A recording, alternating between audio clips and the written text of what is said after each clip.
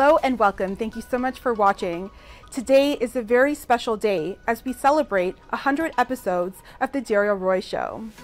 Over the past two years, I've interviewed celebrities, entrepreneurs, and people from all walks of life, sharing their paths to success, failures, triumphs, and inspirational advice that they've learned along their journey. Let's take a look at some of those memorable moments.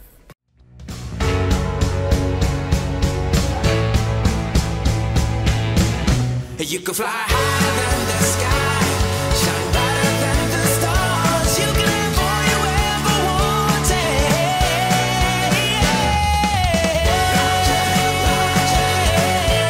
wanted. You have to learn from failure. I'm, you have to decide what is going to happen. What what decision you're going to make after you fail. Yeah. I've failed many times, but success is defined by the decisions that you make after failing. I think when I was young doing stand up, someone, another stand up, told me to try to tell the jokes that only I could tell.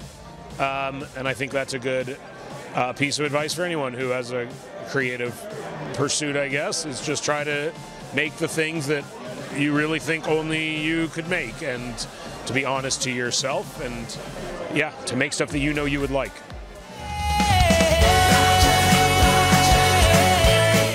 Yeah, you've had so much success, and as you said, you know, you sold your company uh, to mm-hmm. uh, uh, your beauty brand, but you know, yeah, uh, but you really were the face of it, and you were really the person yeah. that you know launched it. Have you been surprised by your success so far, just in every aspect? Of course. oh my God, you know, I have felt like I felt like an outsider my entire life. You know, even within my own family unit, I really didn't feel like I belonged a lot of times, and so you know, I'm used to people kind of criticizing or being weirded out by my eccentric weird style. And uh, and you know to have like people embrace it it's pretty uh, it's pretty mind-blowing you know? I still sometimes wonder like wow you guys really like me? Or you know i just can't like wrap my mind around it. We talked about some success but let's talk about the challenges like what kind of challenges did you face in the beginning of your career and how did you get through it? Because it might inspire someone out there who's trying to make it and, you know, maybe is giving up. I mean, my challenges are not uh, normal challenges. I mean, I'm, I come from a very dark past. And my mom, my mom was a drug addict. My dad was a drug addict. I was a drug addict for a long time. I was in jail for three years. And, um, that's just the beginning of a couple of my challenges. Mm-hmm. You know, um, but what I'm what I'm trying to say, if you if you want a message for these young people that are listening, I came from the darkest hole that you could imagine, mm. and if I made it and I did good, you could do it too. It's all about yeah. discipline, mm-hmm. faith in God, and you're gonna make it. You can't always be on top, and you must be at the bottom for sometimes you must you must be there to be able to see uh, how to get yourself out. You know what I mean? And and it's such a a big accomplishment when you do. So that was the biggest advice in my life. Uh, it, it, gave me patience. It gave me uh, understanding of timing. Mm-hmm. It gave me um, uh, just resilience. Mm-hmm. It gave me this this ambition or this this philosophy to just keep trying, trying again. If a 10 time you cry, 10 time you dry your eye, you know what I mean? Mm-hmm. I think my character was forced to find inner strength. It was a question of find it or die. And I think my character is strong anyway. He's a neurosurgeon, he's a doctor, he's a, a thinker. But I think in this case, hi, in, in this case, he needed to, you know, partner up with someone he didn't know and he had to trust her instincts as well as she had to trust his instincts. You know? And they got satisfied. I continued to grow, and and um, uh, so that that's cool. It's it, it's fun to watch people hate, mm. knowing that the hate is being generated only because they quit and I didn't. Yeah. Because they're not really. I don't really think that they're hating on me. I really don't think that they're they're talking about me. I, I think they're really talking to themselves about their own frustration. Like, because they could have done exactly what I did and didn't. Mm-hmm. And and I know anyone can do what I did. Anyone. If if, if people did exactly what I had done along the way, mm-hmm. and there's other people that have done a thousand times bigger than I've anything I've even uh, you know partially accomplished.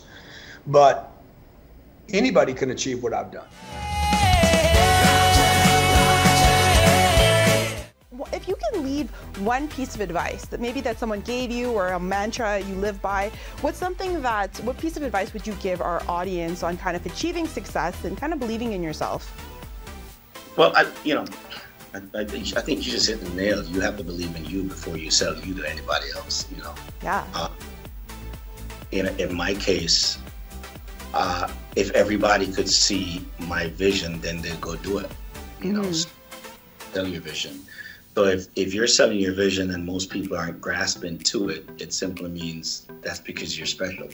Yeah. yeah. Because if everybody could see it, then they'd just go do it. You know what I mean? But if, if you got a plan and a vision for yourself, uh, you really just got to work hard to it. I like doing things and people thinking, wow, I didn't expect that. Mm-hmm. And, yeah. uh, and that's kind of my little high that I go for. I like proving people wrong mm-hmm. in that sense. They'd be like, oh, well, you know, that can't happen. And this, da, da, da, da, and then you just, you know, blow them out the box. You know, not that it would change because they'll still, you know, unfortunately in this game, sometimes people fail their way up. But yeah. And last but not least, you know, our show is all about inspiration. That's why I created this platform to inspire people to live their best life and show success stories like yours. So, what advice you have for anyone that is afraid to follow their dreams and take that next take their dreams to that next level? They're afraid, they're not seeing results. What would you say to them to encourage them to live their dreams? If you're already doing what you love, you've got success. And if if you haven't reached this level you think you want to get to, then you're going to have to work harder. Hmm. Like you're going to have to do things that you were not doing. The things that got you to where you're at are not going to be enough now. You're going to have to add to that. You got to get comfortable being uncomfortable. And you know, I always like to end the show on a positive note, and I want to talk about, you know, we have a lot of viewers and entrepreneurs who maybe are afraid to, you know, go after their dreams and goals because my show is all about inspiration and inspiring our audience. So, you know, for our viewers that are maybe afraid to pursue their goals or they're going through a hard time, what advice do you have for them to maybe, you know, follow their dreams and become a success like you did? Well, you just gotta I mean, nothing in life is easy, man.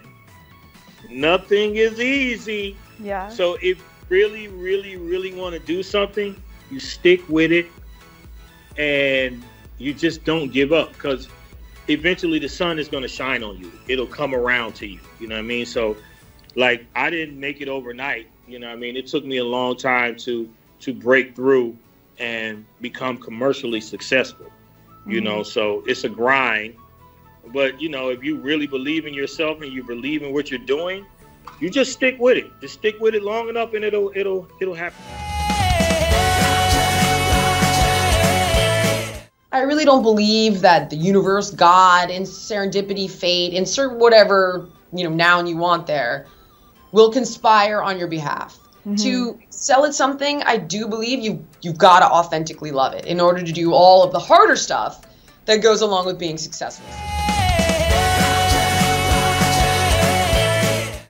Let's let's talk about one of the milestones you've had in your career because there's I'm sure there's been so many, you know, over the years. But what's one milestone that really stands out for you um, in your career that where you were like, okay, I made it? um, the milestone was um, well, I'm gonna show, I'm gonna I'm gonna do two. So, um, you know, in in the music business, we really had to prove ourselves back in the days. You know, mm-hmm. like, um, you know, growing up in LA, it was you know, music music industry was predominantly like gangster music back in the day. So, mm-hmm. um, you know, we would we would make demos, demonstrations, and send them to like record companies and you know, we would always get like, you know, because we were so different. We were, mm-hmm. you know, break dancers and positive lyrics and and just um, the culture of hip hop, you know. Yeah. And you know, they were like, "Oh, you know, you guys are talented, but I don't think your music is that is tangible. It's, it's tangible, and you know." Yeah. And you know, it was that was pretty devastating to hear. Like, you know, what's, I'm like, tangible? What is that? Is that orange? They tell me it's tangerine tangible. No, and uh, we really had to prove ourselves. You know, we we, we I mean, we're like, you know, we would not, we would we take no for an answer, and we're gonna prove it. We're gonna prove it that our music is tangible, whatever that word is. Next up on the show, we have Becky Choi, who is a postpartum corrective exercise specialist. Becky created her company Tummy Warrior, which helps hundreds of women look and feel confident again after giving birth. Becky, thank you so much for being on the show today. How are you doing? I'm good. Thank you so much for having me. Well, thanks for being here. You know, today's a really special day because I'm actually celebrating my 100th episode. Oh my goodness! Congratulations! That's so amazing. Wow. I'm so humbled to be on the show on your 100th episode. Thank you so much. Yeah, yeah. I mean, it, this one's a big one for me. Over the past two years, we filmed many episodes, but this is my 100th. So this one is extra special. And it's really nice to have an inspirational story like yours, uh, you know, to be featured on the show for my 100th. But we're going to get into your story in just a little bit. Let's talk Yeah. about your personal journey um, with Tummy Warrior. I know that you had a personal journey with diastasis recti. So let's talk about that. What is it? And uh, tell us about your own personal experience with it. Absolutely. I love to tell you about my, of my story. So, you know, I was one of those typical skinny Asian girl. Weight was never my issue. I could eat whatever I wanted. I never had to go to the gym and exercise, and I would still be like, I, I was skinny fat, but I wouldn't consider myself fat. But but that all changed after my first baby in 2016. I gained probably about 30 to 40 pounds during pregnancy, and then even after a few months postpartum, I was still about 30 pounds overweight. But you know, I would do it in a heartbeat again for my baby if I were to gain over uh, that much weight. I would do it again. But you know, when you walk by the mirror and you saw yourself, you just don't recognize that person in front of the mirror, and you're like, oh, who is that person, right? In the, inside the mirror. And then I saw my clothes collecting dust in the closet. It, it was really upsetting for me. And then what's more, when I went to a friend's birthday party, and she just had her baby probably a few weeks just before me, and she looked amazing. I'm like, mm. how did that happen? Like, why does she look so amazing and I still look like that? So I'm like, as tired as I was, I didn't care. I'm like, I had to do something. I had to do something about myself. I wanted to show up better, show up more energy for my kids and family. So then I started doing workouts at home. I started doing all these kind of cardio exercises, HIIT workout, crunches, you name it, everything. So I lost some weight. I lost about 20 pounds. And then all of a sudden, I kind of see myself, why does my stomach still look a little weird? It, it was it would dome and cone, like it would make this weird shape that I didn't understand. And then so I, I went around the circle, went to like a chiropractor, uh, a hernia specialist, and then finally went to my doctor. And then she's like, oh yes, you have a condition called the diastasis recti. And so I'm like, what? What is this? Like this? That was the first time I heard of this term called the diastasis recti. And so basically, it's an abdominal separation after having a baby. So then I I was like, okay, maybe I should do something about it now. Uh, but you know, shortly after that, I was bl- blessed with my second baby in 2018, and then and then they're like, ah, you know what? You can't really do anything about it during pregnancy. So I did I didn't really do much until after I gave birth to her, and then that's when I started really intensively researching and learning more about this topic and postnatal conditions uh, and everything else. So here I am, uh, uh, yeah, where I'm helping moms uh, getting back in shape, getting strong, and feeling very comfortable in their self. Absolutely. And you know, for our viewers that don't know, or what are some signs of diastasis recti? Because I'm sure some people maybe just think it's a weight gain, but they don't know that it could be a medical issue, right? So, what are some signs that people can look for? Yeah, so it's actually really common, and but we don't talk about it enough with uh, our OB or midwives. I feel most most of the time they only they look at the baby is the heartbeat right? Like is everything okay with the baby? But they don't talk about enough with the women with the mom. But what it is essentially is when you were when you're pregnant you have to your muscles has to grow has to stretch to accommodate your growing baby. And then so it, to some point when you're full term those muscles are just so stretched out. And and for some moms after they give birth this muscle will go back to where it originally where it should be where it would close back. But for some other moms, it would stay stretched and thin and very weak in that area. And some signs you will notice is like even after a few months or even maybe a year or two year after postpartum, and you will still see that your stomach bulges out, like you would describe yourself, I still look like pregnant, even though I you're not. And then you would, when you're exercising, let's say you're getting on and off the floor with your baby, getting on and off the bed, or lifting something heavy like your car seat, you would feel like really weak in your core, and you probably might see some like a doming or coning shape vertically on the abdomen, then you know that there is a signs of weakness. And on top of that, uh, it's very common to you have a back pain because when you have a weak core, your back always has to compensate for you for you to stand upright, sit upright. So it's always doing overwork, mm-hmm. and then so your back is very tense and sore. And then another thing to watch out for is uh, you might have urine leaking, like incontinence. So it, it might be an isolated event, but it could be the sign that okay, your core is really weak. So like that's why the pressure has to go somewhere like your pelvic floor. Oh, very interesting. And I want to talk about the name Tummy Warrior. That title really stood out for me. So, you know, what does that title, what's the symbolism behind it? And what does that mean for you as a woman and a mother? Yeah, so I love these questions and thank you for asking. Um, so, you know, a lot of the mom will say that you have your baby for nine months, it will take nine months for your body to recover, to renourish, and get back to where it original should be. And you, sh- you should take some grace, give yourself some time. And I totally agree with that. You should take grace and uh, give some time for yourself. But at the same time, I believe that if you're not happy with the way you look, if you're not happy with the way you feel, you're not comfortable about it, you don't have to put up with it. You can definitely do something about it and not make that this as an excuse that oh this is the way how mom should look like uh, after baby. This is how a mom body should be like after baby. You can definitely do something about it. And i think that being strong like a warrior I mean you can show up better for your family. Being strong that you can put yourself first for your family. You can roll around on the floor hold the baby take the baby with strength all on your own strength like a warrior. So like we are all mom warrior. We are, we are tummy warriors I love that, right? Us as women, we are warriors, right? we can we can bear children. We could we, we run the world. Let's just keep it that way. yeah, come on, like we are so much better than men. I, I want to talk about you know you help women lose weight. So what are some mm-hmm. steps that they take in your program to lose the weight?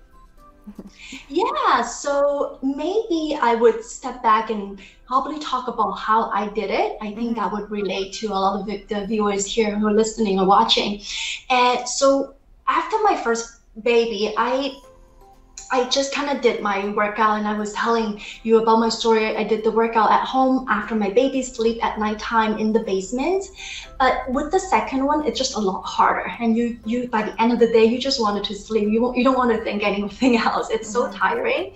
And um, and also my daughter was very needy at that time. So like we, I always have to breastfeed her. So like never get enough sleep. So I couldn't do it at nighttime. So what I did was I did the workout during daytime with my baby and toddler around me. It's actually really great because it's like one stone kill two birds. Yeah. You can throw a Broadway show to them, like they see you panting, they see you running up and down, jumping like that, and they, they kind of have fun with it too.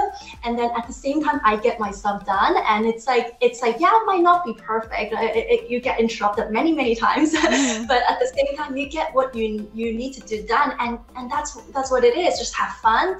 And what's also good about it is that you can actually show your kids what determinations and consistent can do for you. And so that you can show up to them and portray that healthy lifestyle and give show them that whatever you're thinking you can get to it yourself. Because mommy yourself is an example Yeah. And then so uh, yeah, so and in terms of the weight, right? Uh, so yeah, workout is one thing. So do the workout, but also nutrition is also a big part component of of uh, helping you to lose the weight. Because if you do all the workouts and you don't do the nutritions, right? If you just eat kind of whatever, then you then you're not gonna be able to lose the weight. Absolutely. You know, they say that abs are made in the kitchen, right? yeah. yeah. absolutely. Uh, uh, so let's talk about the different products that you you guys offer, and as well, I know that you wrote a book. Um, so let's talk about that as well. Yeah, sure. So, um, so with the program, and I'll talk about the program, and then yeah, and I'll talk about the book. So with the program, I'm not here just to hand you a workout plan or PDF plan or like a nutrition plan and then moving on, but I'm actually here to help you to hold your commitments, to say that to help you to reach whatever goal you say you're gonna do. So with my program, it consists of three components, the nutritions, the workouts, and the accountability. So with the nutritions, I focus on um, uh, the portion control, customization, as well as as a bloat reducing strategy. To help you to reduce bloats, reduce inflammations, and but it's a more customized uh, portion control where you're not following a specific diet or a specific plan that you know some people if you go uh, lots of nutrition uh, plan online or like even some nutritionists will tell you okay you have to exactly eat like this right mm-hmm. and then you have to maybe weigh in your food or track your food but with me I don't think that's sustainable because like I can tell you to eat chicken and broccoli all day and then like, you're gonna lose 10 pounds, 20 pounds for sure. But how sustainable is that? How feasible is that after the program? And I so I help you to know how much to portion Mm-hmm. right? So you're eating all the food groups, you're not overeating and you're not under eating. And let's say like, where are you gonna fit that bubble tea? I love bubble tea. Uh, we're in Toronto here, we have lots of store bubble tea here. So like, how are you gonna fit that bubble tea here, uh, here and there? And then how are you gonna fit, uh, let's say the fried chicken, like you have to have fast food, right? Maybe you're just crunching time, you have to get something. How are we gonna help you to portion that into your lifestyle? So it's not about um, what you're eating is about how much you're eating and how uh, often you're eating those kind of good food or like the, the food that are not so good, but you're making an informed choice for yourself that I empower you to make that choice for yourself and also to identify what's emotional eating and stress eating so that's nutrition. And then with the workout, it's what I call the progressive combo training. So it, it helps you to start from the foundation first, where we need to look at your core. Mm-hmm it's postnatally, whether you have diastasis or not, your core is generally a, a, lot weaker than other parts of the body. So we need to help you to get the foundation first and then continuously to progressively build up your strength, doing, doing some cardio so then you can uh, chase after your toddler and baby and then also do some toning and strength training so then you can actually help you tone up and, and feel good and be looking good in, in your clothes. And then lastly, and I think it's a very important component for most of my uh, warriors, at least it's the accountability mm-hmm. and the coaching guidance. So uh, a lot of the moms can do exercises on YouTube or whatnot, and then, but then it, it's hard to know whether you are doing them correctly or not. Like you're not sure if your form is correct. Now, if your form is not correct, and which I had done completely the wrong way in the beginning and I have no clue about it. But like if you're not doing your form, your form is not right, you're, you, you are not going to exercises efficiently. So you might be just spinning around the circle doing the same exercises, but you're not really targeting that core muscles enough uh, efficiently. So you, you, you, we will help you to um, look at whether you are doing it right or not through videos analysis and also helping you to check in uh, you know give you some tough love if you need some motivations and give you feedback or whatnot on your food or, or other stuff. So then we're here to hold your commitment and really help you to succeed and reach your goal. Mm-hmm. um, and then you also asked about my book right Dara? Mm-hmm. yes. Yeah. Okay. So uh, actually i have my book here so oh very nice yeah, it's available on Amazon. And so while I was on my journey, I wanted to write a book and spread my message around the world, especially there are lots of informations online out there saying, oh, you should do this, you shouldn't do that, or maybe it's too late to heal your diastasis now, or like, um, so there are a lot of information. And even if you go to like um, physical therapists, or like your doctor, there's lots of jargons. Like they will talk about pelvic floor. I'm like, what floor? what floor are we talking about?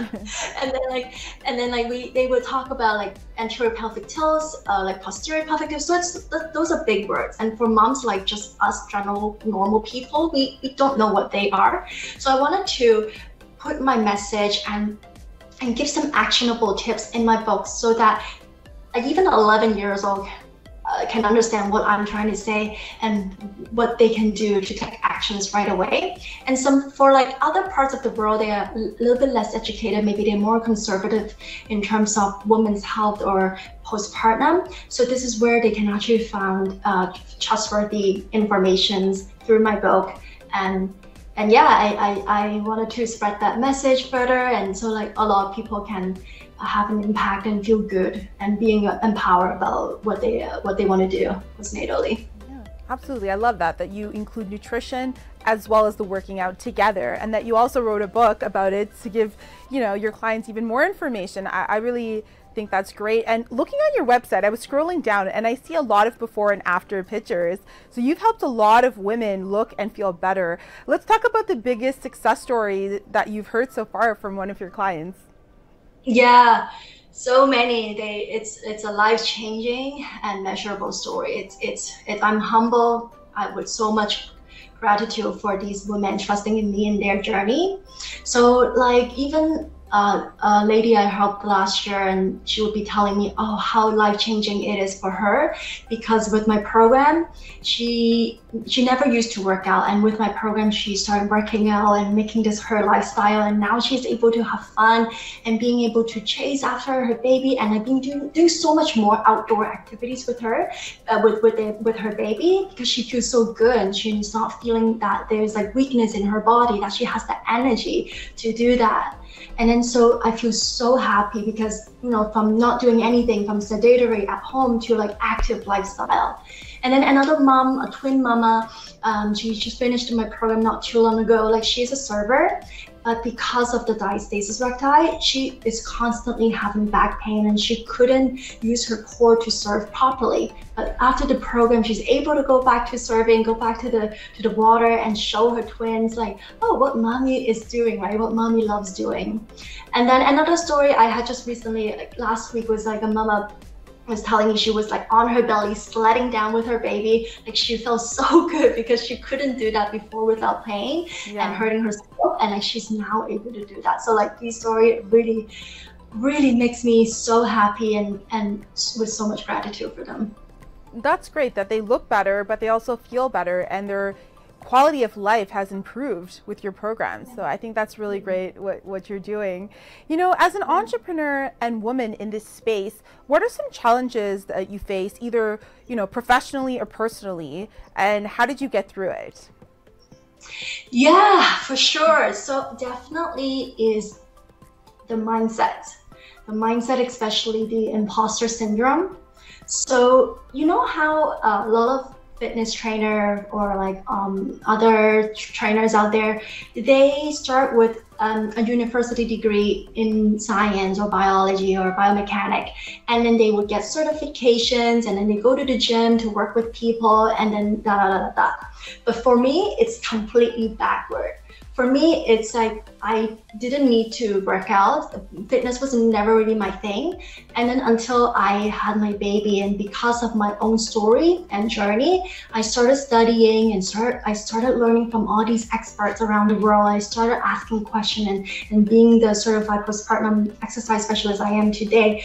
To, and then to help other mama. So my story is backwards. So sometimes I feel like, oh, I'm not worth it. Like she has a, a master in nutritionist and she has this certification that certification and she like like so my story is backward like so i always have this like oh, am i worth it is it like it, can i actually help people mm-hmm. but the so the what my advice for the entrepreneur out there if you're feeling like how i was feeling with imposter syndrome is that you just have to take massive and messy actions. Mm. You just have to keep going, keep keep doing what you love, keep keep keep going like following your passions.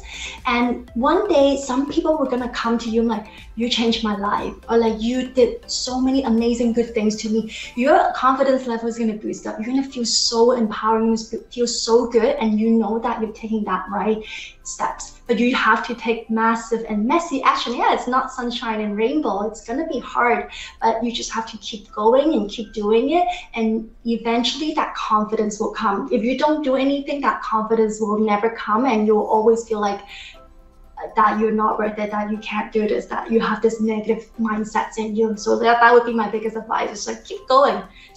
Uh, rainbow happens at the end of the tunnel. That's my favorite line. yeah, absolutely. We're all warriors, right? Inside. And I like that you said imposter syndrome because I think that so many of us go through that, even if we have a degree in something or we have the education, even on that side, you know, some people feel like you know they can't do something or they're an imposter or that mm. more people have more experience. But i think you know what's relatable is someone sometimes it's, it's not about just having an education. It's also about having the knowledge and having the passion and having the real life experience like like you did going through it. So it's it's more relatable for women because you went through it yourself you know? So when you teach them it comes from a place of of experience so I think that's great what you're doing. And where can our viewers find out more about your programs and join them? Yeah, thank you. So you, uh, viewer, can find me on Instagram at Becky Choi underscore. So this is where I post a lot of the educational content, as well as motherhood and some inspirational contents like um, transformations of my own clients. So then they know that there's hope, that there is actually something that you can do about diastasis recti. It's not just surgery is the only options or like that, that that's never going to be possible. So they can definitely find me in my Instagram and also chat with me, like DM message me. I'm always there. I wanted to get to know you more. I wanted to get to uh, know how, how, how their situations are and then we can chat about the next step, maybe, uh, yeah, having a consultation call set up as well. Amazing. Well, Becky, we're going to list all that information below for our viewers to check it out. Thank you so much for being on the show today. It's inspirational what you're doing. You're helping women look and feel better and improving their quality of life. So I commend you for it. Thank you for celebrating my 100th episode with me. It's it's it's great to have an inspirational story like yours. So thank you. Thank you. thank you so much, Darriel. Thank you. Tag TV is available on Roku, Amazon Fire TV, Apple and Android TVs, as well as on Apple and Android phones. Watch us live through YouTube and Facebook.